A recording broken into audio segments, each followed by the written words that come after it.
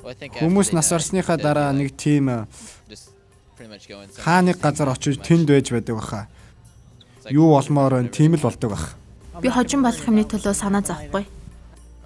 Нөгөө юутай Ухаан алдалтаа сөхөөсөнтэй адилхан байх. Хаав харанхгүй, чи юу ч санахгүй, тэнд юу ч байхгүй, юу ч байдаггүй л гэж бодож байна. Мөнхийн жаргалд ордог. Би төрхөөс өмнө ямар амьдралтай байсан тийм болдог байж магадгүй. Үхлийн дараа юу? Мэдхгүй. Аа, тэд илүү дээр газар очдог байгаасаа илээ. Аа, илүү дээр газар очиод буцаж ирдэг байх л гэж найдах юм да.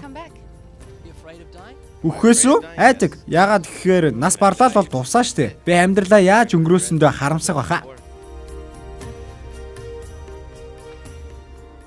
Энэ нэвтрүүлгийн зорилго бол ердөөл Христэд итгэгчийн хувьд гэрийнхэн болон найз нартаа ихтэйд сургууль, ажлын газартаа итгэлийн тухай яаж үр дүнтэй ярьж өгөхийг заах юм. Бас таны хайрлах сэтгэл таньж мэддэг хүмүүсийн хүрээнээс хальж танихгүй хүмүүсийн төлөөж байхад бид түлхэц болно. Энэ бүхнийг бид Есүсийн мөрөөр орж хийх хэрэгтэй. Бид өмнөх дугааруудад сэтгэл нь бохир заваан гэдгийг ертөнцийн эзнэр цэвэрлүүлэх хэрэгтэй хүнд харуулахын тулд түүний тогтоож өгсөн 10 хуулийг яаж ёс суртахууны толмид ашиглахыг үзсэн. Бас хүн Есүс рүү чухам ямар учир шалтгаанаар ирж байгаа нь хэр чухал болох тухай яриад байгаа. Аз жаргалын төлөө юу? Гимээ цагаа тулахын төлөө юу? Энэ зарчмуудыг яаж амьдралд хэрэглэх тухай энэ 7 хоногт ярих гэж байгаа нь яг тулаад ирэхээр юу болдгийг бид мэдмээр байгаа юм. Өвсөд эври хөндөгөөс буулгаж ирээд зулгаацгаая. Сурснаа яаж хэрэгжүүлэхийг үзье. За эхлэе. Тийм ээ, хэлцгээе.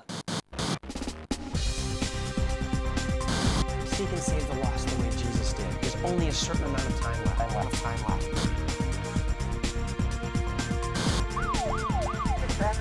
So use the law, use your testament, reach out to the lost. Reach out to the lost. There's nothing more important than your eternal salvation.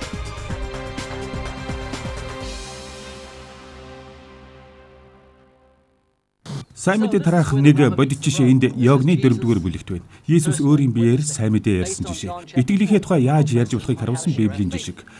Йогны 4-р бүлэг. Библиэд бичснээр Есүс нэг эмэгтэйтэй худгийн дэргэд арилджээ. 7-р эшлэл. Шамрон аймгийн нэг эмэгтэй ус авахар ирэхэд Есүс ус өгөөч гэж гуйлаа. Энд болсон явдал бол холбогд, бүрдүүл, ойлгуул, дэлг юм. Хүнтэй холбоо тогтоож ертөнцийн эзний тухай ярих боломж бүрдүүлээд Түүний тогтоож өгсөн ёс суртахууны хууль болох 10 хуулийг ашиглан гин бурууг нь ойлгуулсны дараа сайн мэдээг дэлгэн ярь гэсэн үг л дээ. Есүс энийг яаж хийснийг бид үзэх гэж байгаа. Дахиад 7 дугаар ишлэл. Шомрон аймгийн нэг эмэгтэй ус авахар ирэхэд Есүс ус өгөөч гэж гуйлаа. Есүс тэр эмэгтэйтэй энгийн амьдралын зүйл ярьсан байна. Яагаад гэхээр Библиэд бичсэнчлэн Христэд итгэдэг хүмүүс ертөнцийн эзний талаарх зүйлсийг тэнэглэл гэж боддог. Бид ч гэсэн Есүсийн араас дагах хэрэгтэй их эзний замыг дагаж энгийн зүйлээс яриагаа эхлэх нь зүйтэй. Гэрк чи яаж энгийн зүйлээс яриа өддөг вэ? Нөө ёстой амархан. Би зүгээр л найрсаг байхыг хичээж танихгүй хүмүүстэй сайн уу сони юу тав намайг гэр гэдэг та юу хийдэг вэ гэдэл яриа хөрөө өрнүүлдэг. Гэр бүлийн тухай цагаагаар спорт гих мэт сэдвэр ч ярьдаг. Гэрийнхэнтэйгээ бол өдөр тутмын амьдралын аар сар зүйлсийг тэртээ тэргүүл ярьж таардаг. Тэгэхээр энийг хинч хийж чадна. Ядах юмгүй. Хүмүүстэй зүгээр л өдөр тутмын амьдралтай холбоотой яриа өрнүүлэх.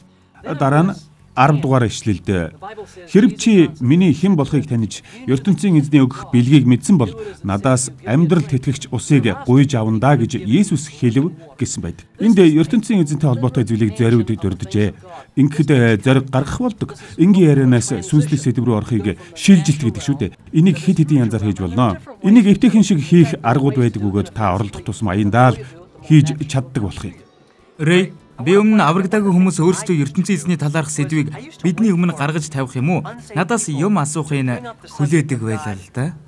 Тэгэд би заримдаа амар тайван байдлыг хамаг байдлаараа харцсандаа хөвчлэн байж хүмүүс рүү харан тэд өөрсдөд нь байхгүй ямар нэг юм надад бийг болж хараад нэг л өөр байдаг чи ямар учиртай юм бэ гэдэл асуух байх гэж хүлээдэг байсан юм. Танаас асууж өсөөгүй мэдэхгүй ямар ч үсэн би бол хичнээн ч удаан хүлээсэн ихэнх хүн огт асуудаг байсан.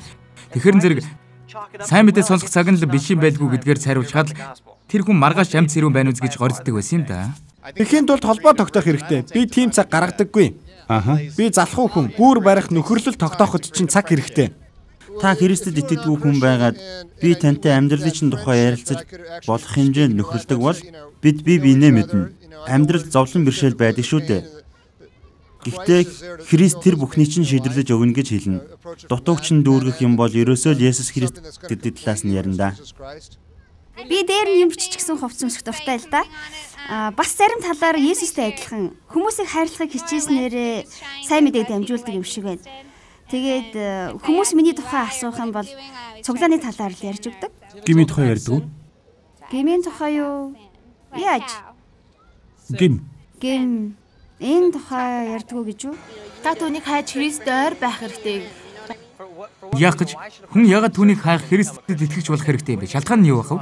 Хайр гэж юу вэ гэдгийг мэдхийн тулд ягаад гэвэл ертөнцийн эзэн бол хайр, түүнийг хайж түүнтэй ойр байхгүй бол хайр гэж юу болохыг хүн мэдэхгүй. Танаа нэг найз хүүе миний сэтгэлд хоосон орон зай гэж байхгүй. Би шар аргент дуртай. Найз залуутайгаа унтах дуртай. Надад үнэндээ ертөнцийн эзний хэрэг алга гэвэл та юу гэж хариулах вэ? Би хариу юм хэлдэггүй зүгээр л тэдний цуглаан дэрхийг өрсөн хിവэр байж Христэд итгэгч хүн ямар байдгийг өөр өөрө харуулна. ертөнцийн эзний гэрлийг өөр дээрээ тусган тэдэнд харуулахын тулд. Та аврагдаагүй найз нартаа итгэлээ ярьж өгөх гэж оролддог уу? Мэдээж.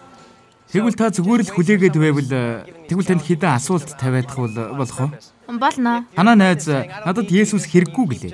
Та тэр үгэнд нь хариу юу ч хэлэлгүй зүгээр л ертөнцийн эзний хайрыг өөрөөрөө харуулахыг бодож явлаа. Гэтэл найз чинь тэр шөндөө осолд орж нас урлаа гэж бодоход үүр дүм хаана бах Эзэнгүйгээр Түнгүүгэр гэхээр хаана очих вэ? мэдгүй. Мөнхийн завланд Миний тухайд би шууд ярьдаггүй. Танилцаад нэг хэсэг болно. Цуглаан дөөрөнөх юм уу? Цуглааны ямар нэг үйл ажиллагаанд хамт явах эсхийг нь асууна. Тэгээд энэ талаар сонирхож байх юм бол Есүсийн тухай гэдэл тэр бүгдийг ярина да. Христэд итгэж болохыг хүссэн хүн ирж болзвол та юу гэж хэлж өгөх вэ? Библиэс зарим ишлэл хэлж өгөх бах. Ромын багц гэдэг ишлэлийг хэлж өгвөл их тустай юм байна лээ. А та бол гимтээ та тэхгүй бол тамд орно гэсэн тэр бүх ноцтой юмыг би ярих дургүй. А тэгээд яах вэ зүгээр л тайван байж тэдэнд юуг мэдүүлдэг. Энийг голдуу харилцаанд суурилсан сайн мэдээ гэдэг. Эхлээд холбоо харилцаа тогтоохон сайнч Библиэд нийцдэгч. Даанч дэндүү удаан хүлээх болвол хэцүү. Хэрвээ би хүний мөнхийн авралын асуудалд үнэхээр сэтгэл тавьж байвал 2 3 минутын дотор л тэр хүнтэй нөхөрсөг харилцаа тогтоочихж болно. Яагаад тэгэхээр хоногийн 24 цаг тутам 140 мянган хүн үхэж байдгийг. Хүн нүд ирмэх зуур нөгөө ертөнц рүү шилжиж та тэр хүнд гэрчлэх боломжоо алдчихж болзошгүй гэж санаарай. Тэгвэл хүнийг эвгүй зүйлэлгүй өөрийгөө гажигтай гэж харагдуулахгүй хүн шиг яаж сүнслэг яриалуу зориулж хэлчих вэ? Сайн мэдээ тараах тавхимл байна. Би энэ зорилгоор дандаа авч явдаг юм л да. Баян халаастай цам цөмсөж энэ тавхимлоо үргэлж авч явдаг юм. Тэгээд та энийг авч байсан уу гэж асуугаад л болоо.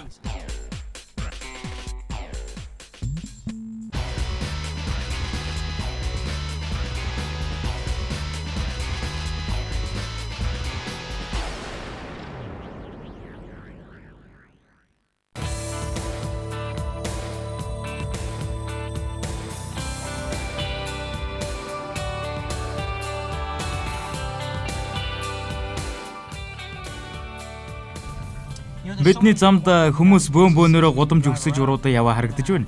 Тэгээд надад энэ хүмүүсээс хідэн аврагдааг бол хідэн мөнхийн зовлонд орох уу гэсэн бодол өөрөө ирэхгүй л төрөөд байх юм. Өвглийн хөнөөлт өвчний юм бидэнд байна гэсэн үг.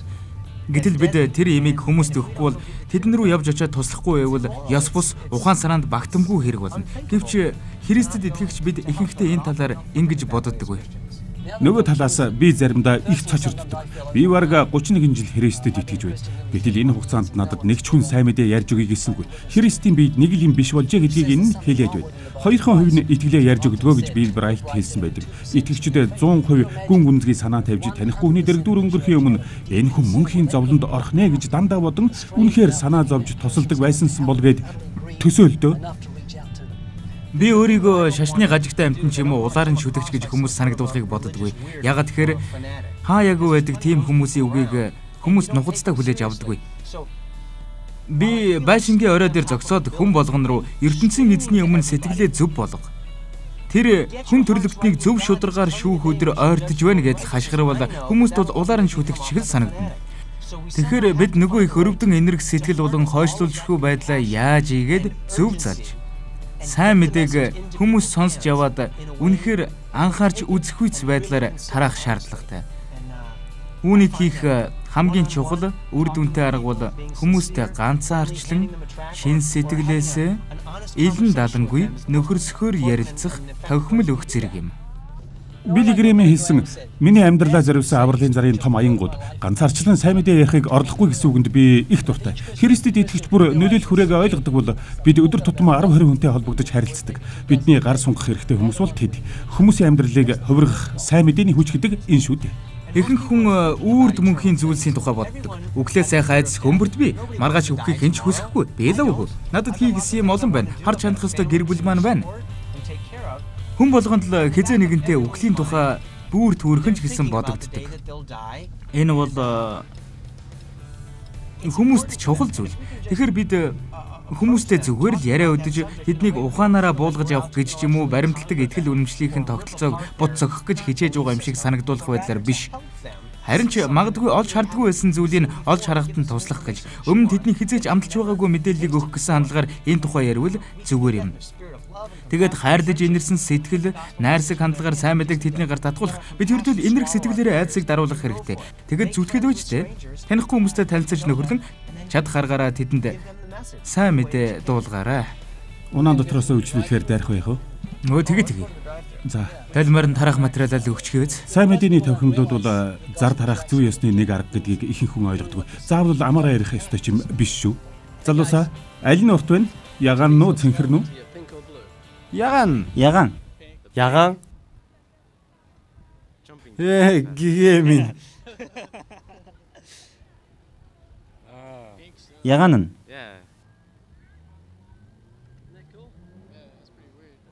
Юу гэж вэ?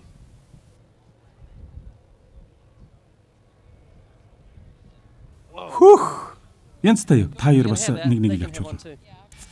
Энэ бол байдаг л нэг тараах хуудас биш. Бидний тараадаг хуудсуудыг их бүтээлчээр хийсэн болохоор итгэдэггүй хүмүүс ч дахиад гуйж авдаг юм. Жишээ нь энэ бол манай сая долларын хуудас. Сая долларын мөнгөнд тэмдэгт гэж байдгүй хууль бус л да. Гэхдээ энэ бол үнэндээ сая долларын дэвсгэрч шиг харагддаг тараах хуудас. Ард талд нь сайн мэдээ бичсэн байгаа. Сүнслэг яриалуу ороход чи энэ ямар хэрэг болдгийг? Энийг халааснасаа гаргаж ирээд та ийм юм авч байсан уу? Энэ бол сайн мэдээний хуудас юм. Энгийн ярианаас оюун санааны сэдв рүү зариуд шилжиж байгаа юм л да. Сайн мэдээ гэж хэлснээрээ би ертөнцийн эзэнтэй холбоотой зүйлийг дурдчихж байгаа юм. Тэгэд нэг хүн энийг харж байх үед нь танд Христэд итгэх итгэлийн үндэс суурь байсан уу гэж асуудаг. Ингэж шилждэг. Христэд итгэх итгэлийн үндэс суурь байсан уу гэх мэт юм асуухад хүмүүс дургуулагддаггүй юм уу? Үгүй ээ энэ бол ёстой гим хоргүй асуулт. Таны сүнсний байдал ямар байна гэх мэтийн хувийн шинжтэй юм асуугаагүй шүү дээ. Тэр хүн Христэд итгэх итгэлтэй холбоотой байсан үгийг л асууж байд. Би ийм маягаар мянга гаруй хүнтэй харилцаж байсан. Ердөө ганцхан л дургуутсаж байж билээ. Тэр хүн их бардам өөрийнхөө зөвд итгэсэн хүн байсан л да. Би ямар хүн болохыг мэдж байсан хэрнээ ертөнцийн эзний тухай ярих хэрэггүй л байсан юм. Тэгээ дараа нь За тэгээд э, дараа нь хүмүүс тийм ээ Багдад цуглаанд явдаг байсан. Ням гарагийн хүүхдийн цуглаан тийш явдаг нас ч өнгөрчээ гэж хариулах нь би. Тэгэхээр нь би голдуу. Та өөрийгөө сайн хүн гэж үздэггүй гэж асуудаг. өөрийгөө сайн хүн гэж боддог үгүйг нь хүнээс яагаад асуудаг юм? Угта Есүсийн хийсэн зүйлийг үндсэн болгосон юм. Марк 10:7-д нэг хүн Есүс рүү ирээд сөгдөж сайн багшаа би мөнх амийг яаж олох вэ гэдэг үстэй. Харин Есүс сайн гэдэг үгийг хэрхэн ойлгосныг нь зэмлэж чи намайг яагаад сайн гэсэн бэ гэдэг. Яагаад гэвэл Библи баг хүн бүхэн өөрийнхөө сайныг гайхна гэдэг шүү дээ. Гэмтээ хүн төрлөختөн сайн гэж юу болохыг буруу ойлгодог. Сүүлийн 2 3 жилд банк дээрэмдээгүйгээд өөрийгөө сайн гэж үзэх хүнч гарч ирж мэдх юм шүү. Библиэд бол сайн гэж ёс суртахууны төгс төгөлдөр байдлыг хэлдэг. ертөнцийн эзэн сайн гэж Есүс хэлсэн. Тэгэхээр та өөрийгөө сайн хүн гэж үздэггүй гэдэг бол асуух ёстой асуулт юм. Ихэнх хүн тийм ээ тэгэлгүй яах вэ? Би их сайн хүн гэж хариулна да. Энэ асуултанд хүмүүс дургуутсаж байсан уу? Нүгөө ихэнх хүн өөрийгөө сайн гэж үздэг. Тэгээд энэ асуулт хэдэнд ямар сайн хүн гэдгийг хэлэх боломж олгодог болохоор дургуутсаад байдаггүй юм. Библийн сургаалт өгс наманд ихэнх хүн өөрсдийгөө сайн гэж мэдэгдэнэ гэсэн байдаг. Бараг хүн бүхэн өөрийнхөө нүдэнд цэвэр ариун гэсэн. Та энэ асуултаар тухайн хүн өөрийгөө эзний өмнө ямар байдалтайгаар төсөөлж байгааг мэдж болох юм аа. Та өөрийгөө сайн хүн гэж үздэг үү? Тийм ээ. Гарцаагүй. Тийм ээ би өөрийгөө маш сайн хүн гэж бод. Ерөнхийдөө бол сайл хүн гэж дээ. Гайва сайн хүн шүү. Би өөрийгөө сайн хүн гэж үздэг шүү. Та нар өөрсдийгөө сайн хүн гэж үзэх үү? Бараг л. Тэгнэ. Би өөрийгөө сайн хүн гэж үздэг шүү. Тийм ээ, би өөрийгөө сайн хүн гэж боддог гэхээр нь та үнэхээр тийм үгийг чинь мэдхийн тулд хэд ийм асууж болох уу гээрээ. Үгүй гэх хэн байх вэ? Ихэнх хүн болно болно л гэдгийг. Өөрсдөө сайн хүн гэж бодож байгаа хүнд айх юм байхгүй. 16 дугаар ишлэлд. Иесус нөгөө эмэгтэйд очоод нөхрөө дуудаад ир гэж хэлэхдээ нэг талаар үүнийг хийсэн байна.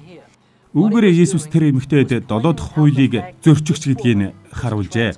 Завас Марх 10 дугаар бүлгийн 17 дугаар ишлэлд ертөнцийн эзний тогтоож өгсөн сайн чанарын хим хэмжээг Иесус сөгсөн байдаг. Есүсийн хийсэн зүйл ийм учиртай байж. Би өмнө нь Есүс зүгээр л эрэгтэй хүнтэй хууль бус харилцаатайг нь мэдэж байгаагаа бүхнийг мэдгч гэдгээ тэр эмэгтэйд харуулж дээ л гэж боддог байл. Гэхдээ таны хэлснээр Есүс тэр эмэгтэйн гмийг ухааруулахын тулд бүү завхаар гэсэн 7 дахь хуулийн мөн чанарыг хөндсөн юм байна. 17 дугаар ишлэлээс харахад эмэгтэй би нөхөргүй гэж хариулсан байдаг. Есүс түүнд би нөхөргүй гэж та үнэн хэллээ. Та таван хүнтэй сууж байсан гэжээ. Энэ эмэгтэйг завхаа амьдралаар явж байж гэмээр юм уу та. Хууль сэтгэлд нь бичигдэхэд эмэгтэй буруу юм хийж байгаагаа мэдсэн. Та ч гэсэн цаг гарган өөрийнхөө зөвд итгэсэн өөрийгөө сайн хүн гэж ярьж байгаа хүнийг 10 хуулийн шалгуурт оруулвал яг л ийм юм болох юм шүү дээ. Тэгвэл энийг яаж хийх вэ? Есүсийн ядлаар хүнийг яаж 10 хуулийн шүүлтүүрээр оруулах вэ?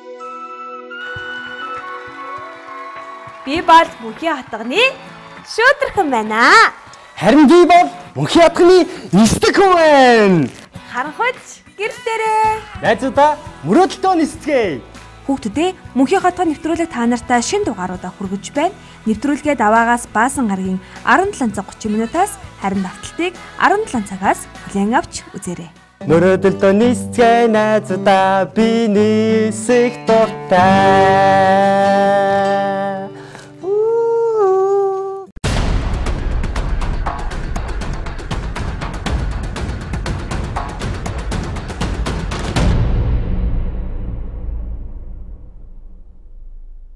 Мүлжүүлж байгаа хүмүүс нь өөрсдөө авах сонирхолтой. Баян үйд ч яг уу би хайрлахад амархан л та тийм. Тэр орхиж явснараа бид буруутай. Тэр одоо халдаагаа засахын тулд яах ёстой гэдэг тэдний өмнө бүгдийг нь бөндгөнөх бас хэцүү. Олон эцэгчүүд буруу яриад байна л да сүүлийн үед. Буруу яриад байгааг бол бас уучлаарай. Миний үзэл бол. Талия. Та нууснаас жоо. Өшөөр бол Тэгвэл та ингээд Тийм учраас яг- гадуур гараад ажил хөөцөлтөд яваад үзэлтэй. Яг эрэгтэй хүн болохоор энийг мэддэг байх. Ийм хүмүүс одоо ч байдгүй штэ гэж. хүний намайгны тэр гол хэрэглэгчдийг нь бий болгоод идэг. Зүйл бол ерөөс яалтч өв порнографи гэж би бас дотроо хардаж явдаг байхгүй. Гэрэлт амьд яриа.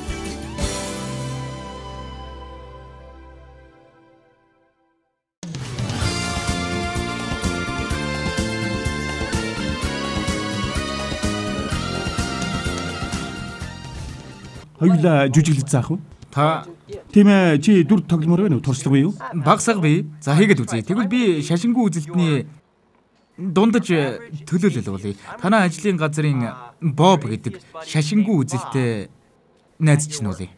За илүү энэ таны тохимол. Тохимол мохимол гэж юу юм? Шашны иймэрхүү хог навшинд би дургүй л дээ. Тэгвэл чи яагаад Библи авч явъя? Хөө тийм байна. За би атеист үзэлтэй Боб. Та нөгөө зарчмуудаа над дээр хэрэгэл. За, ингээ ярианаас эхлэе. Аха. За, сайн хөө бабо. Нөө сайн сайн. Уучлаарай би тамхи татчихъя. Хөөе, чамаас нэг юм асуучих уу бабо? Нөө асуу асуу. Чи Христ итгэлтэй холбогдож байсан уу?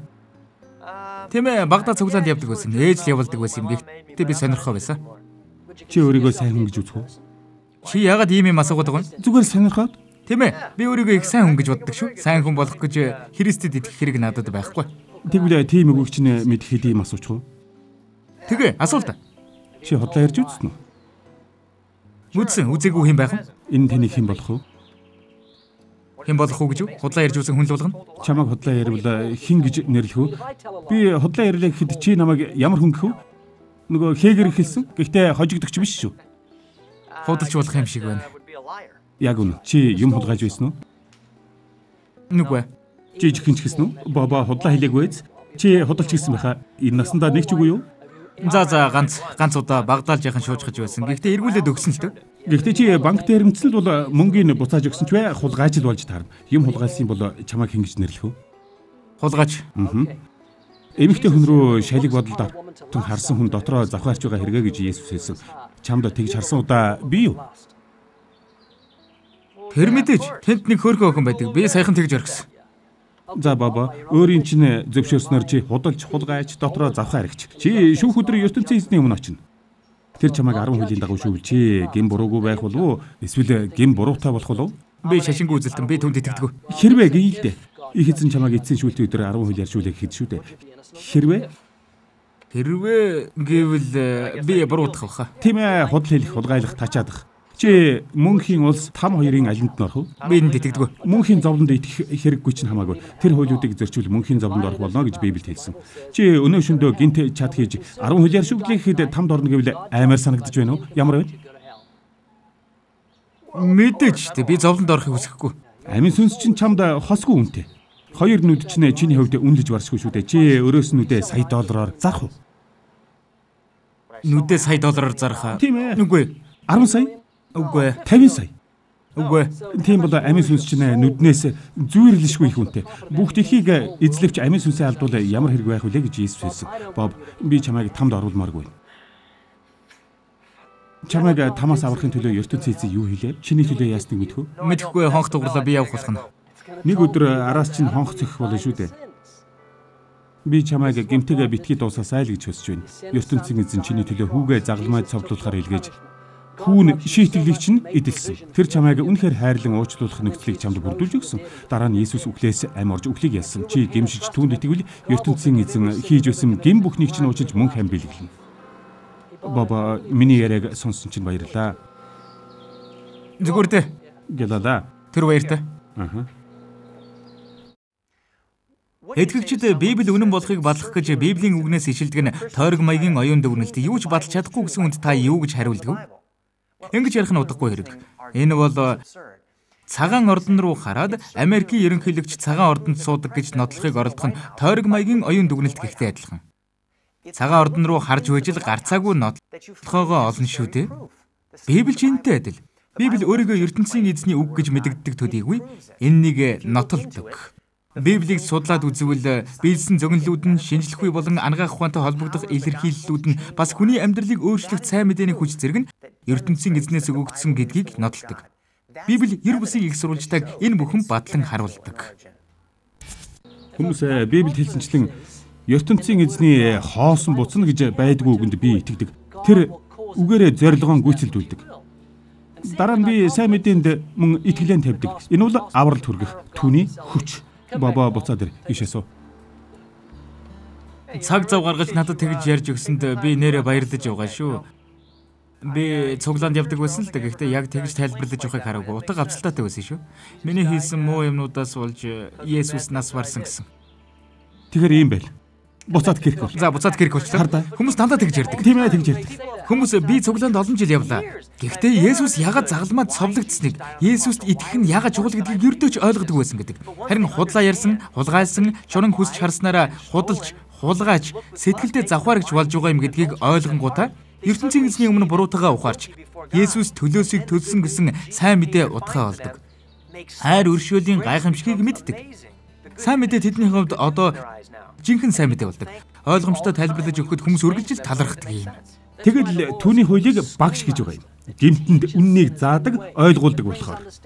Хууль гмийг ойлгуулдгаа гэж Библиэд бичсэн.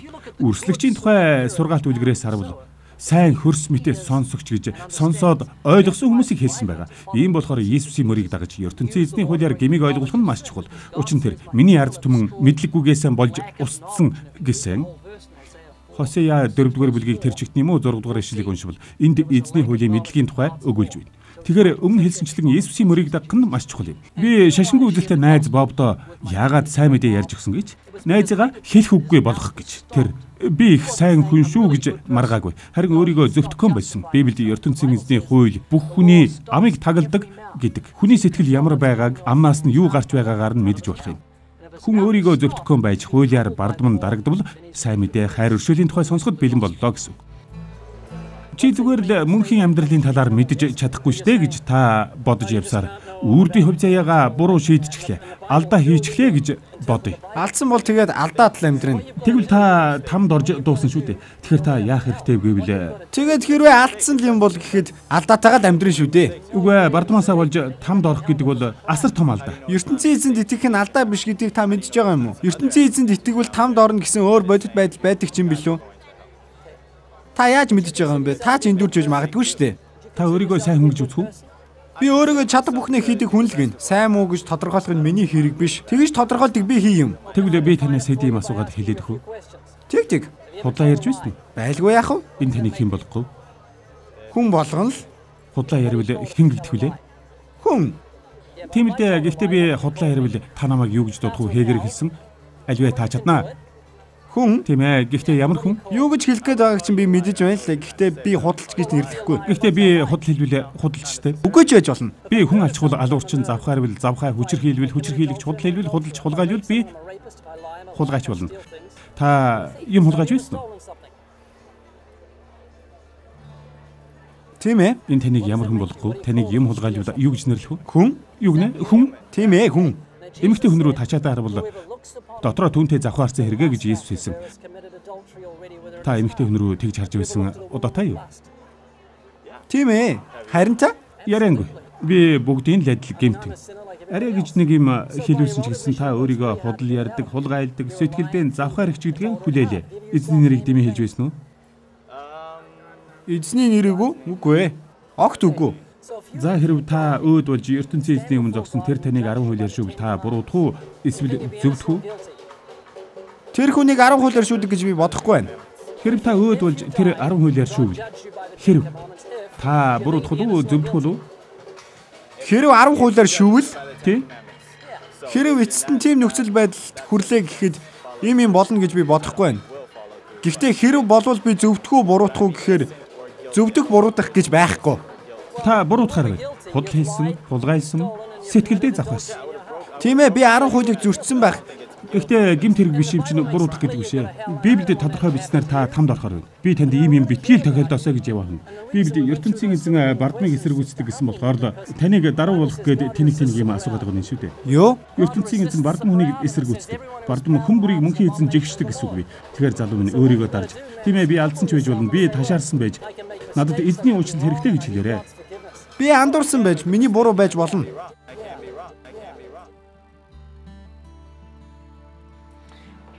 Итгэл үнэмшлийн тухай ярихтай холбоотой сануулах нэг чухал юм бол та ярилцаж байгаа хүнээрээ үргэлж алга ташуулаад байхгүй. Хүмүүс голдуу өө за тийм үү баярлалаа гэдэл яваад өгнө.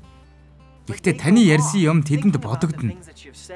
Үнэн шүү. Хүний ухамсар, хүн чанар гэдэг маш хүчтэй зүйл. Хүн ертөнцийн эзний өмнө гим буруутайгаа мэдж авсан болохоор энэ тухай өөрөө эргцүүлэх үедээ гимшиж Есүс Христэд итгэвэл ертөнцийн эзэн өршин хоёр дахь боломж олгодгийг нухацтай бодож үзнэ. Тарах удас өгч ярьж хөрснөөс хойш хэдэн өдрийн дараа надтай уулзаад би танд талархаж байгаа. Сайн хүний сорилд би базаахгүй дүн авсандаа би гэрийнхэнтэйгээ цуглаан дахиад явдаг болох гэж байгаа. Тэгээд цаг гарган надтай ярилцсанд чинь талархах гэсэн юм л да гэж хэлэх хүмүүс байсан. Хүн чанар гэдэг хүчтэй зүйл. 10 хууль бол хүний хүн чанартай оюун ухаан ярьж чаддгүй аргаар ярьдаг. Тийм болохоор л ертөнцийн эзэн 10 хуулийг тогтоож өгсөн юм. Гэхдээ энэ бол нэг арга биш юм шүү. Энийг бид Иесусээс авчихсан юм. Бид их эзнийг хуулбарлаж түүний замыг дагаж байгаа. Бидний өөр нэг агуу итгэл бол аврал их эзнээс ирдэг. Бид зүгээр л үр суулгаж байгаа юм. Та ногооны үр суулгалаа гэхэд мөн чанар нь хүнд биш үрэндээ байж. Хүн зүгээр л хөрсийг бэлтгэж үр суулгадаг бол үр өөрөө үржил шимээ өгдөг. Сайн мэдээ тараах үедээ ч бид яг энэ зарчмаар явж байгаа юм аа.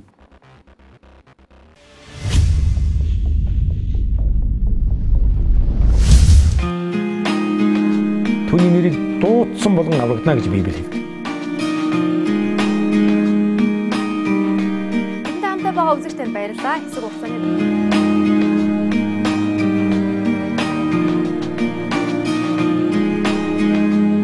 Эзэн Иесус аав бүхний